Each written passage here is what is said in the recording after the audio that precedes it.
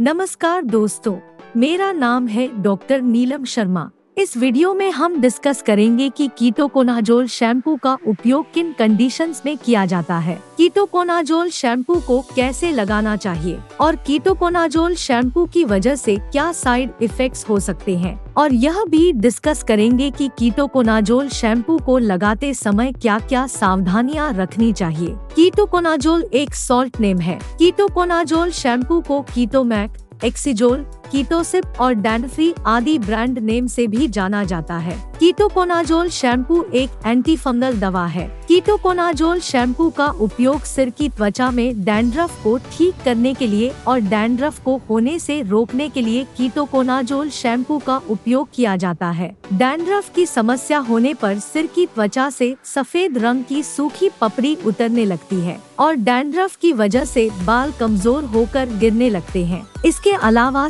Seborrheic dermatitis होने पर भी कीटोकोनाजोल शैम्पू का उपयोग किया जाता है। सेबोरिक डर्मेटाइटिस डैंड्रफ का ही एक गंभीर रूप है। सेबोरिक डर्मेटाइटिस होने पर सिर की त्वचा से सफ़ेद रंग की सूखी पपड़ी बहुत ज़्यादा गंभीर रूप से गिरने लगती है। अब हम डिस्कस करेंगे कि कीटोकोनाजोल शैम्पू को कैसे लगाना रिकमेंडेड होता है। कीटोकोनाजोल शैम्पू को लगाने से पहले आपको अपने बालों और सिर की त्वचा को पानी से अच्छी तरह से भिगो लेना चाहिए। उसके बाद थोड़ी सी मात्रा में कीटोकोनाजोल शैम्पू को लेकर सिर की त्वचा में अच्छी तरह से लगाना चाहिए। और हल्के हाथ से मसाज करनी चाहिए। और कीटोकोनाजोल शैम्पू के झाग बनने के बाद कीटोकोनाजोल शैम्पू को तीन मिनट से लेकर पाँच मिनट तक सिर में लगाकर छोड़ देना चाहिए। और उसके बाद कीटोकोनाजोल शैम्पू को पानी की मदद से अच्छी तरह से धो लेना चाहिए। डैंड्रफ को ठीक करने के लिए डॉक्टर शुरुआत में पहले आठ सप्ताह तक कीटोकोनाजोल शैम्पू को सप्ताह में दो बार लगाने की सलाह दे सकते हैं। कीटोकोनाजोल शैम्पू को बंद करने के बाद डैंड्रफ की समस्या दोबारा हो सकती है।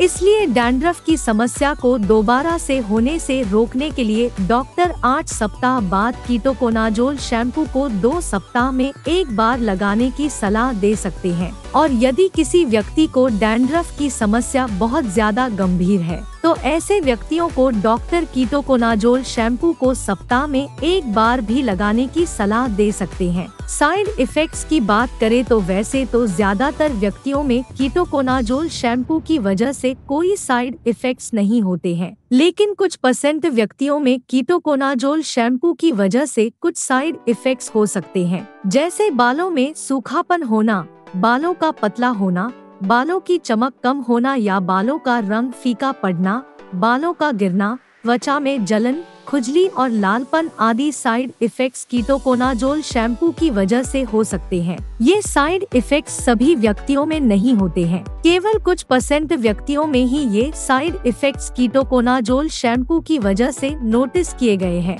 यदि किसी व्यक्ति को कीटोकोनाजोल शैम्पू को लगाने के बाद सिर में बहुत ज़्यादा जलन, खुजली, त्वचा का लाल होना मुँह, गले होठों या त्वचा पर सूजन होती है तो आपको तुरंत ही डॉक्टर से परामर्श लेना चाहिए, क्योंकि ये लक्षण एलर्जिक रिएक्शन के हो सकते हैं। अब हम डिस्कस करेंगे कि कीटोकोनाजोल शैम्पू को लगाते समय क्या क्या सावधानियाँ रखनी चाहिए। यदि आपके सिर में कोई चोट लगी हुई है या आपके सिर में कोई घाव है तो आपको कीटोकोनाजोल शैम्पू को नहीं लगाना चाहिए। और कीटोकोनाजोल शैम्पू को केवल सिर की त्वचा पर ही लगाना रिकमेंडेड है।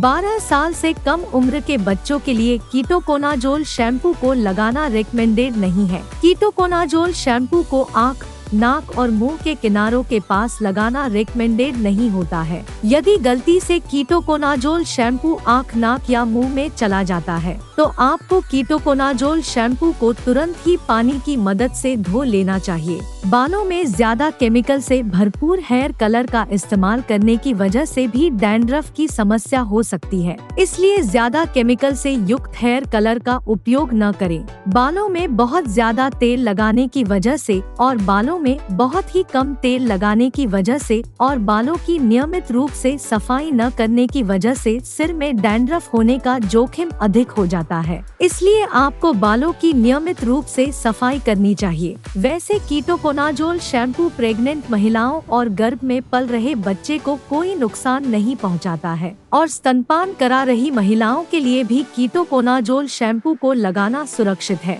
इसलिए डॉक्टर ज़रूरत पड़ने पर प्रेग्नेंट महिलाओं और स्तनपान करा रही महिलाओं को कीटोकोनाजोल शैम्पू को लगाने की सलाह दे सकता है। अगर किसी व्यक्ति को कीटोकोनाजोल शैम्पू या इसके किसी भी इंग्रेडिएंट से एलर्जी है तो ऐसे व्यक्तियों को कीटोकोनाजोल शैम्पू को नहीं लगाना चाहिए। और ऐसे व्यक्तियों को इसके बारे में डॉक्टर को भी बताना चाहिए। वीडियो को देखने के लिए आपका धन्यवाद। अगर आपको वीडियो पसंद आया तो प्लीज़ वीडियो को लाइक कर देना। चैनल को सब्सक्राइब कर लेना। और अगर आपका कीटोकोनाजोल शैम्पू से संबंधित कोई प्रश्न है तो आप कमेंट करके पूछ सकते हैं।